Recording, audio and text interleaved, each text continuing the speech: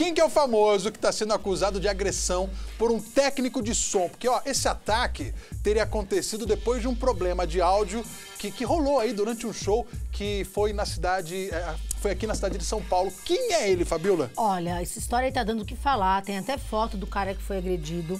É o MC Livinho, que está sendo acusado de agredir um técnico de som.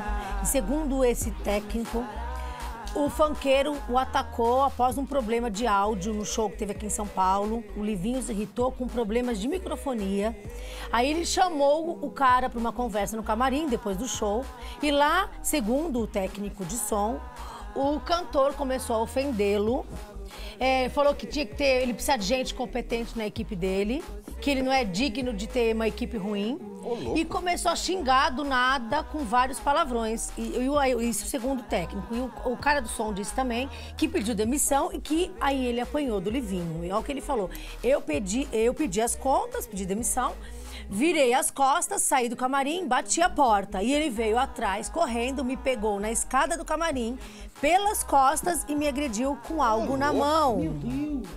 E aí tem as fotos dele machucado. E agora, também vale lembrar que em dezembro o Livinho interrompeu um show que ele fazia numa festa de formatura no Rio de Janeiro e segurou pelo pescoço um rapaz que o teria xingado na plateia. Não Nossa. é de hoje aí que ele tem esse. O, o moço tá muito agressivo. Tá, tá bem. Agora é o seguinte. Lembra esse daí da daí festa de formatura, festa né? de formatura. Ele foi lá e pegou o cara ali na, da plateia e pegou no pescoço dele assim. Esse MC Xandinho aí é demais, né? Não, é, é livinho. Errou! Não é livrinho, livinho. Agora, a situação faz eu pensar que esse rapaz precisa urgentemente de, de acompanhamento. Porque isso não é normal. Isso tá batendo nas pessoas assim? Agora, isso daí praticamente, isso daí praticamente poderia ter terminado de uma forma muito mais trágica do que já foi.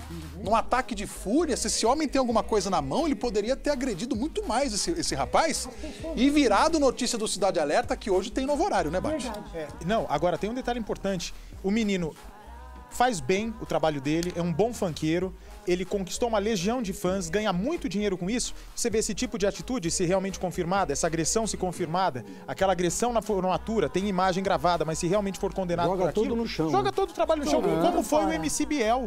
É, foi a mesma coisa. Em vez coisa. de chegar, pedir desculpa, botar um ponto final na história, não, eles querem continuar a polêmica. Agora, o Fabiola, o que, que a assessoria disse? Então, a assessoria do Livinho afirmou em nota que a equipe dele, o departamento jurídico que administra a carreira dele, estão apurando os fatos para que todas as providências sejam tomadas. Quer dizer, não tem nem como ele negar a agressão, porque tem foto e aquele cara lá deu a cara tapa, mostrou foto ali, todo, todo machucado. É.